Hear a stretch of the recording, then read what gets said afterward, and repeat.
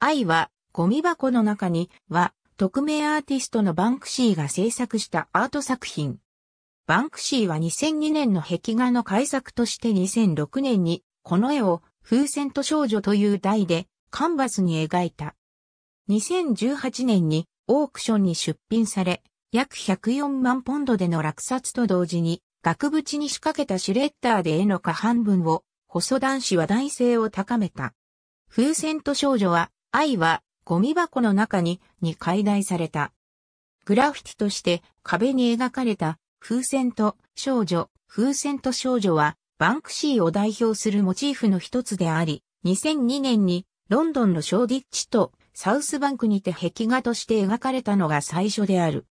白黒で描かれた少女が糸をぶら下げた赤いハート型の風船に向けて手を伸ばしているという構図はバンクシーの他の作品と同様解釈に曖昧さを残している。少女は浮かんだ風船を捕まえようとしているようにも見えるし、逆に子供時代へ別れを告げるべく、風船を手放しているようにも見える。バンクシーは2006年にこの絵の改作を、スプレーとアクリル絵の具を使ってカンバスに描き、同年の展覧会、ベアリー・リーガルの直後にある友人へ譲った。その時に、絵が将来オークションに出されることに備えて、額縁にシュレッダーを組み込んでおいたとバンクシーは言う。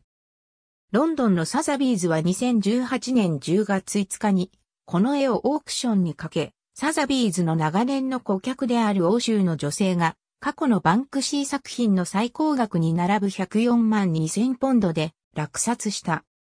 落札を告げる小槌が鳴って何秒もしないうち、突然カンバスが額縁の下べりから滑り降りて裁断され始め、警告のビープ音と居合わせた者たちの驚いた悲鳴が部屋に響いた。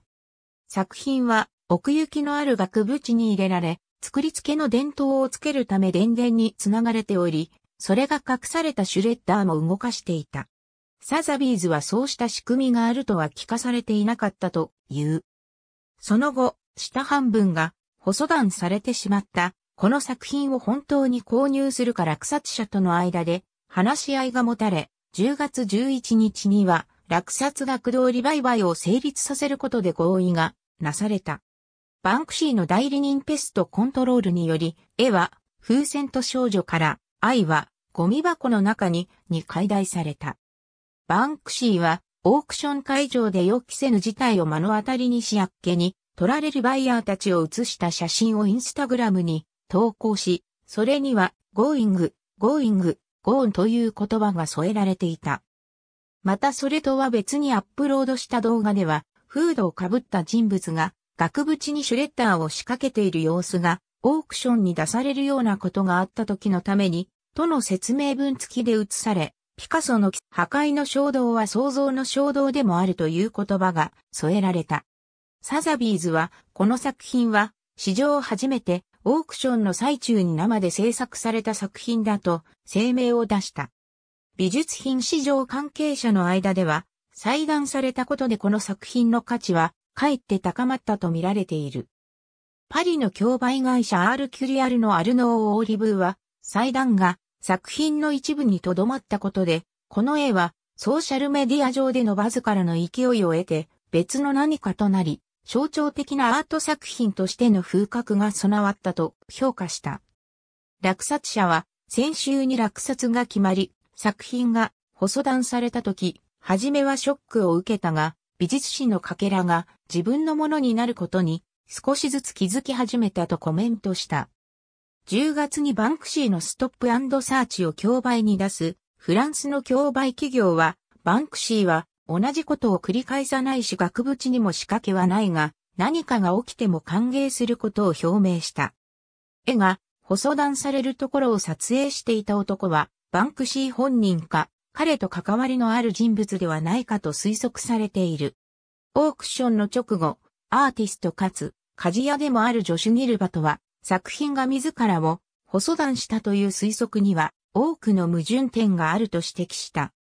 ボードパンダでのインタビューで彼は、バンクシーが撮影したという短い種明かし動画において、X オクト星の歯と見られるものが、カンバス面と水平に取り付けられており、それではカンバスを切断できるはずがないと述べた。